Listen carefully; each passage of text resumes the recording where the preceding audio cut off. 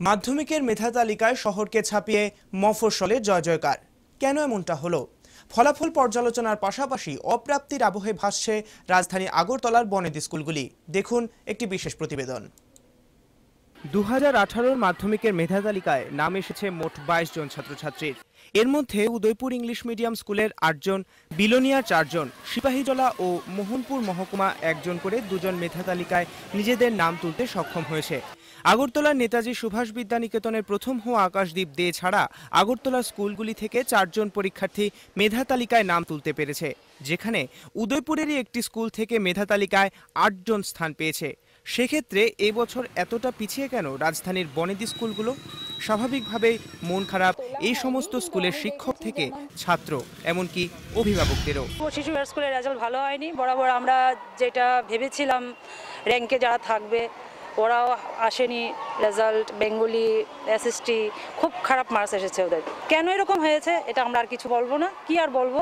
এখন বোর্ড দেখে আমরা রিভিউ করতে দিয়েছি। এখন আমি গাইডিয়ানে কী করে বলব যে মানে এটা বোর্ডের দোষ বা রাজনৈতিক নেতাদের দোষ কার দোষ আমি জানি না।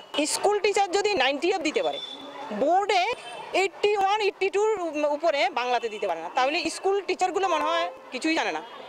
বোর্ডে যেসব টিচার খাতা কাটতে এসেছে ওরাই জানে। তা আমরা স্কুল তো ভালো করেনি আশানুরূপ হয়নি। বুঝেছি অন্য সব স্টুডেন্টই তো ভালোই চেষ্টা করেছে।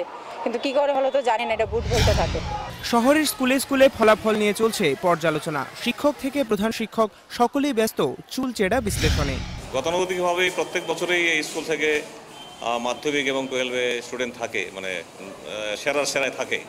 তো এই বছর আসলে এই বিষয়টা একটা অনেক সময় লাকও ফেভার করে।